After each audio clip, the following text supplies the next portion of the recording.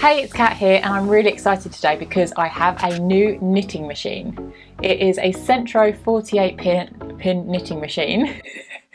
and I've just realised it's stuck to the desk. I've had knitting machines in the past, but this one is pink and pretty.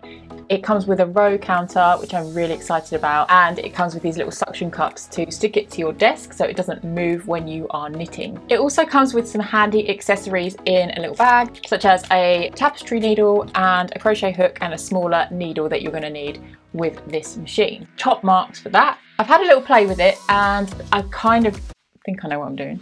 I've got this yarn that I've had for ages and ages and ages. It is quite thin, it's double knit yarn, but this could be the day that this yarn has a purpose. I'm going to make a little knit tank top. First, I'm going to cast on with some waste yarn.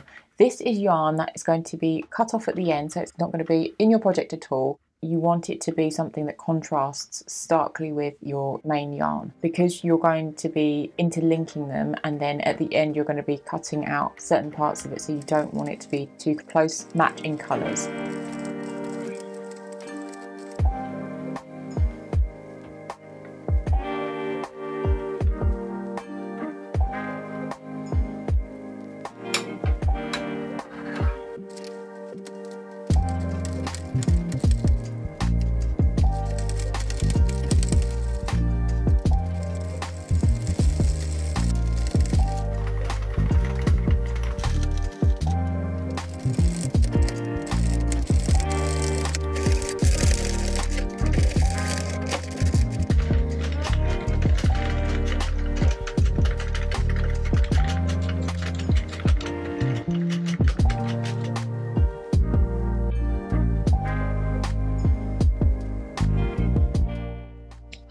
It's the next day and I made a mistake with the first one, so this is actually the second one.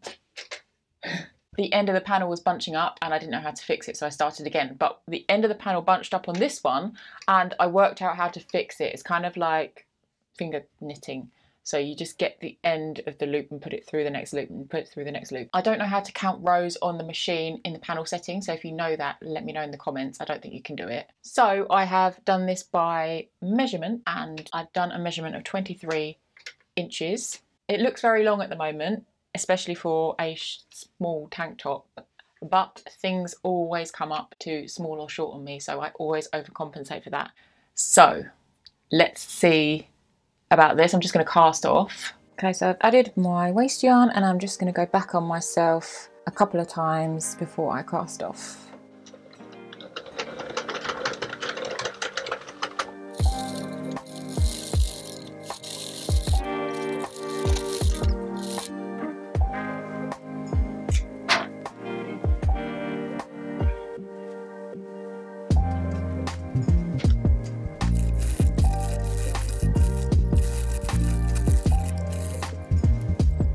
Okay, so I think that's just enough. I mean, that's not much, but I'm impatient, so I'm just going to take it off. Tie that just so it doesn't go anywhere. Just as a little fail safe. Um, so I'm going to just, I think I'll put it onto the tube setting. And this is the moment of truth. Well, there's lots of moments of truth in this. This is coming off now. The green yarn is the waste yarn, so we're not too worried about that. That will do its own thing.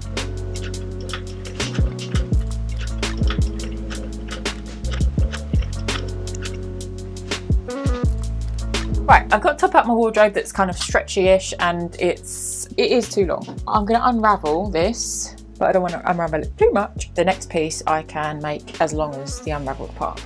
This is the top. And I'm hoping, oh my God, I think I'm just gonna cut it. I think I'm just gonna cut there. Would I cut it? I don't know, tell me. Okay, I'm gonna cut, oh, because I can't, I'm gonna unravel all that, am I? Am I? I don't know. Okay, let's just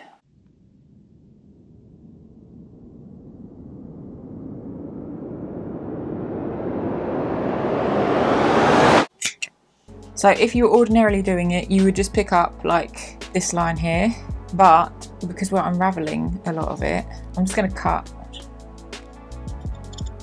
cut across here. This may be a big mistake, done it.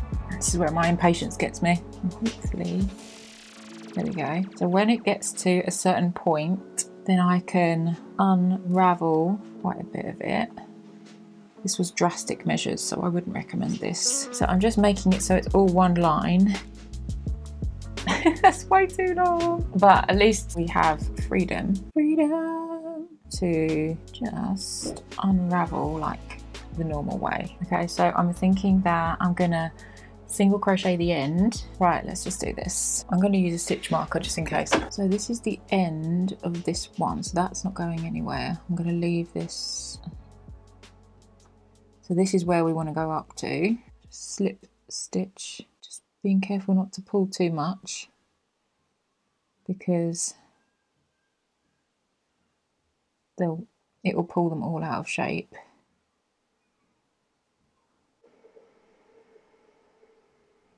So then we're going to go across this edge all the way along. Hold it together as much as you can as well because otherwise you'll get it kind of flailing outwards.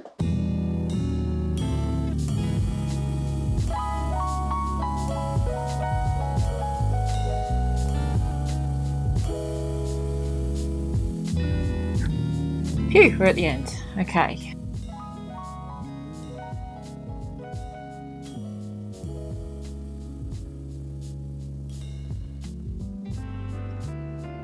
Right, so that's one side. I mean, I've just done a really nice neat border on that, but it might not be wide enough for my body. Too neat for my own good. I don't know if that will be wide enough for my body. Um, I don't think it's, oh, I don't know. Oh my gosh. So I could have done that a bit more stretchy, that bit. As a vest, it'd be fine. What am I going to do? The only other thing I thought is, oh, I don't know.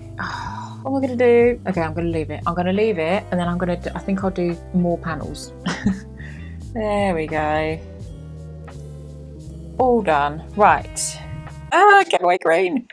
Right, I'm gonna take this top away now. That actually was too tight because look, it's bunched up a little bit. So I shouldn't have done that so tight. So I'm just gonna go and steam this out to make it kind of like all one piece, just to make it nice and flat. Because otherwise I don't know whether it's gonna fit, where it won't fit. I now have two pieces like this, which will be the front and the back. I've, I've seen other people do tops on the knitting machine where each panel is wide enough for a front and a back, but I don't think this is, I don't know. I'm not sure if this is actually going to fit around my body like it does some of the other lovely ladies on, on here, but we'll see. I might just sew them up and then see if it does fit around or I might undo the ends and just make them a bit wider because this is quite a tight stitch. We'll see.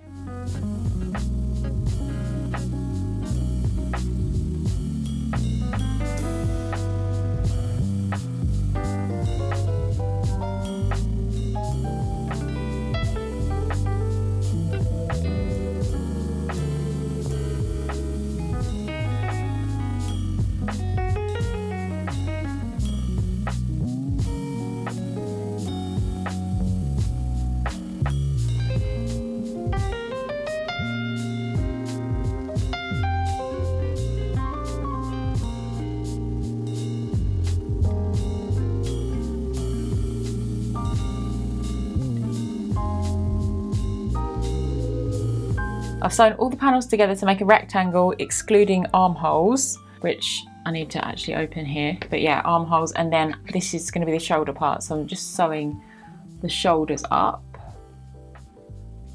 across the top.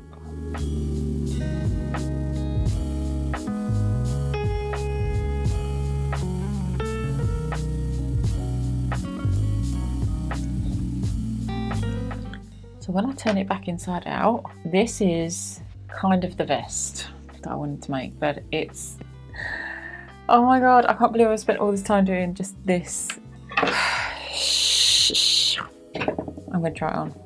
Finally, I have made something. I feel like I've been making this for a thousand hours through trial and error and there's something here, some sort of sleeveless cardigan. I'm gonna call it a win because I've learned so much just making this one thing. What I've learned is firstly to use waste yarn. It is key to get a good knitting machine project at the start and at the end if needed. This is vital to get your knit looking uniform and so it doesn't splay out at the edges like you see the waste yarn doing. Another thing I learned is get your tension right. Tension is king on a knitting machine. Once this is right, the whole process is effortless because it's like putting a good system in place. You get great results. I've also learned if I want to do panels, I need to count the rows, which sucks a little bit, but it really is needed, especially if I want to not end up having to hack my garment with scissors. Lastly, I'll be using chunky yarn on here from now on. I think I could make an actual knit vest that looks half decent and it would also fit across my body, which this yarn sadly didn't, hence the panels. Let me know in the comments, do you have a knitting machine and what other tips would you give? Also, what you want me to make next. As always, I'm so grateful for your support of this small channel. If you want to see me make a hash of something else, then please subscribe and I'll be happy to do that for you.